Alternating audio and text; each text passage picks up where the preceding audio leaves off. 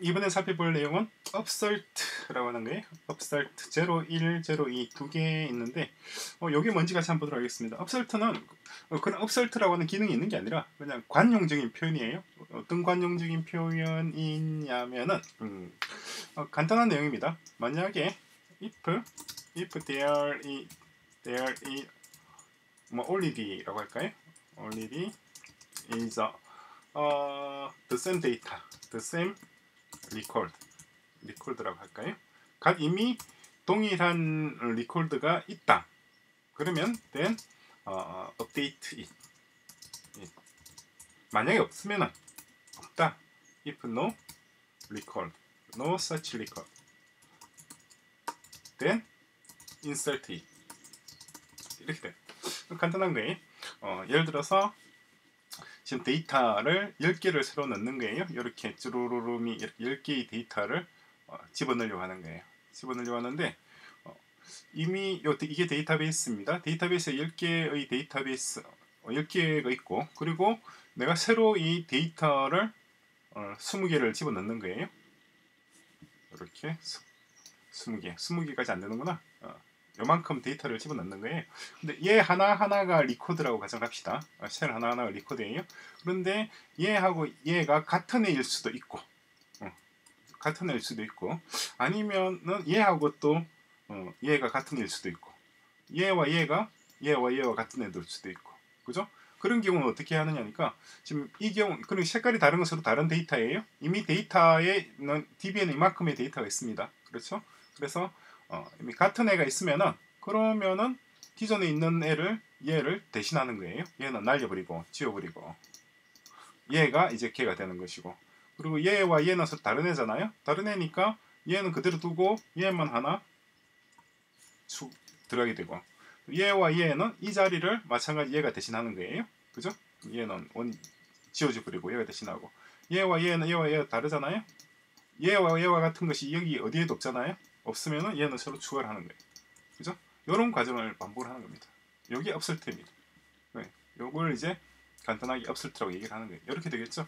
나중에 이 데이터를 넣고 얘도 이쪽으로 오고 얘도 이쪽으로 오고 해서 전체 데이터 이런 데이터가 어, 구성이 되겠죠. 요걸 upsert 그러니까 내가 일련의 데이터 record를 넣는데 이미 내가 넣으려고 하는 데이터가 이미 자리 잡고 있더라. 그러면은 걔 대신에 내가 지금 넣는 걸로 새로 대신, 하는 거고. 그죠? 어, 내가 지금 넣으려고 하는 데이터 record가 DB 없더라. 그러면은 insert 하는 거예요. 그걸 줄여서 upsert라고 표현합니다. upsert라고 하는 정식 명칭이 있는 건 아니에요. 자 실제 동작하는 메커니즘 보시면 이렇게 됩니다. 한번 다 리셋을 했어요. 리셋을 해서 깨끗한 상태에서 이렇게 인설트 합니다. 어, 장르이고 insert all 썼어요. insert all로 해서 insert all과 insert가 다른 건 아시죠? 그죠? 그래서 이렇게 넣은 겁니다. 장르에서 음, 장르 테이블에 요 name ska 위키 태그 ska music 이렇게 넣은 거예요. 그죠? 이걸 똑같이 한 번 더 넣으려고 하면 어떻게 되나요? 그러면 이렇게 constraint 장르 name index 그죠? 이름이 서로 충돌하잖아요. duplicate duplicate key value violate unique constraint 장르 name index 장르 name index에서 딱 걸려요. 그죠? 그래서 안 되죠. 그런데 이것을 이제 음, 다르게 하는 방법 그냥 이렇게 하는 것이 아니라 이렇게 만약에 어, 디폴트가 raise입니다. raise 에러 에러를 내는 거 raise죠. raise인데 그렇지 않고 on conflict 옵션을 주고 디폴트를 raise가 아니라 nothing으로 주게 되면 주면 그냥 아무런 그거 없어요. 그냥 바뀐 게 내용이 없다. 제로가 됐죠. 그죠? 얘는 1이잖아요. 근데 여긴 제로예요. 그러니까 DB record 중에서 어, 뭐 바뀐 거는 없다 말이 되겠죠. 그죠? conflict에서 어, nothing을 줄 수도 있고 아니면 replace를 줄 수가 있습니다.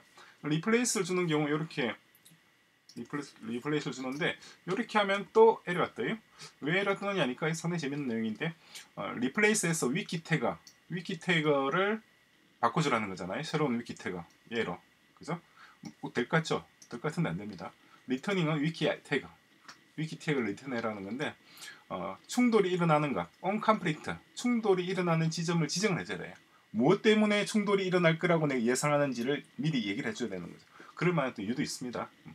그렇게 해야지 나중에 코드가 깔끔해져요. 그래서 귀찮더라도 어, 뭐, 뭐 때문에 그러니까 지금 conflict target이 name name에서 conflict이 발생할 것이다 라고 지정을 해주는 거예요. 그러면은 이렇게 제대로 동작을 합니다. 그죠? 이게 upsert죠. 있으면은 어, 기존에 있는 것은 삭제되고 새로운 데이터가 들어가게 돼요. 새로운 데이터가 들어가게 되고 wiki tag는 걔는 ska가 되는 거죠. 그죠?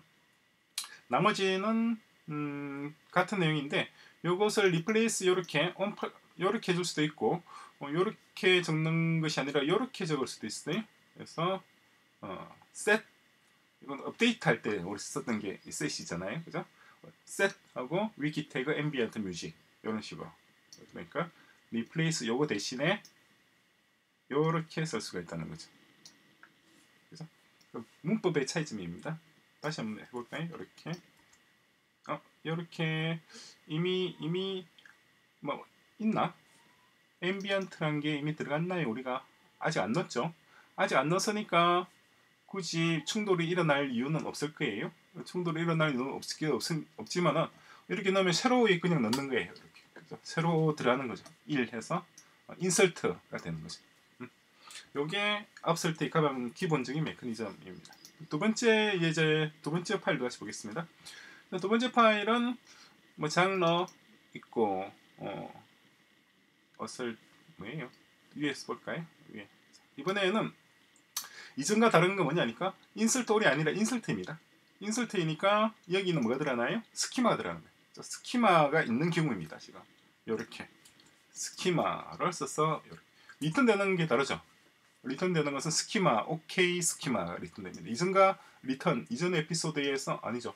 좀 전에서 리턴되는 건 이런 게 이게 리턴됐잖아요. 이런 형식. 근데 이번에는 이제 이런 형식, 스키마 형식이 리턴됩니다. 그래서 그리고 나머지 동작하는 메커니즘은 거의 동일합니다. Repo insert하고 어, on conflict 이렇게 하고 conflict target은 name이고 그죠? 똑같습니다. 근데 이전보다 조금 조금 단순해진 느낌은 있죠.